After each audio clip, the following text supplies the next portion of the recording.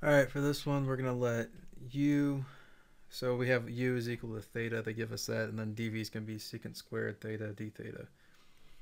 So we'll make du equal to d theta, and v is going to be equal to the tangent theta, because um, the the derivative of the tangent secant squared and integral of secant squared is tangent, so that works out.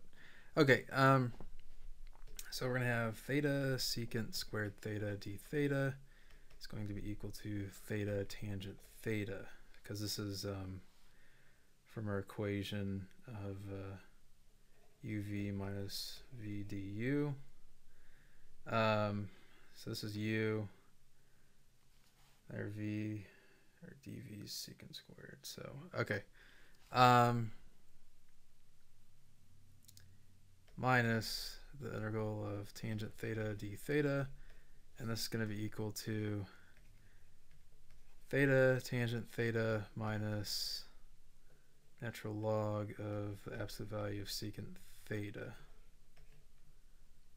plus c, and that's it.